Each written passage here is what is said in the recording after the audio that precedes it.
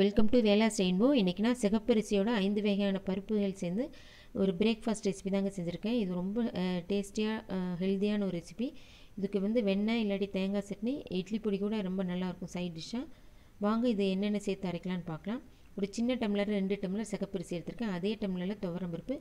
மற்ற பருப்பு வகைகள் எது வேணாலும் சேர்த்துக்கலாம். ரெண்டு ரெண்டு ஸ்பூன் சேர்த்துக்கோங்க.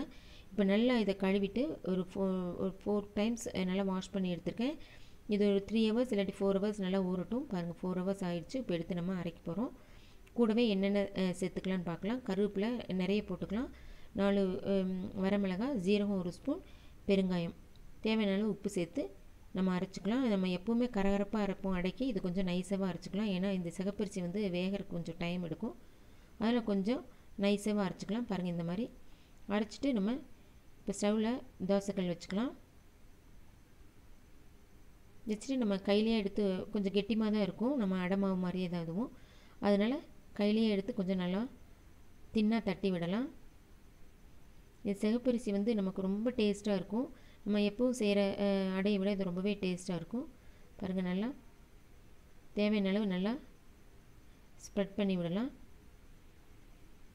எப்பவுமே அடைக்கு கொஞ்சம் ஆயில் அதிகமாக தேவைப்படும். அப்போ தான் நம்ம அடை நல்லாயிருக்கும் நம்ம ரெகுலராக இந்த அடையெல்லாம் செய்ய போகிறதில்ல அதனால் நம்ம எப்போயாவது ஒரு நாள் செய்யும்போது கொஞ்சம் எண்ணெய் விட்டு சாப்பிட்றது நல்லா தான் இருக்கும். பாருங்கள் தேவையான அளவு நம்ம வெங்காயம் போட்டுக்கலாம்.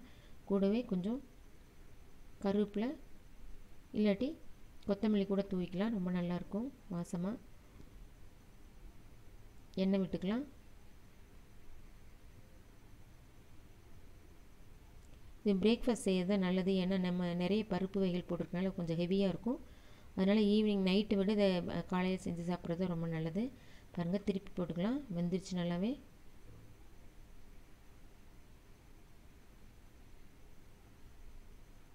அவ்வளோதான்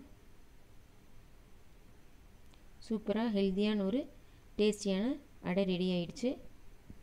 இது குழந்தைங்க பெரியவங்க எல்லாருமே சாப்பிட்லாம். நம்ம ஜீரகம் பெருங்காயம் எல்லாம் போட்டுக்கனால சீக்கிரமே டைஜஸ்டும் ஆகிடும் பாருங்கள் இதுக்கு வெண்ணெய் வச்சு சாப்பிடும்போது ரொம்ப டேஸ்டியாக இருக்கும். உங்களுக்கு வேணும்னா கார சட்னி கூட வச்சுக்கலாம்.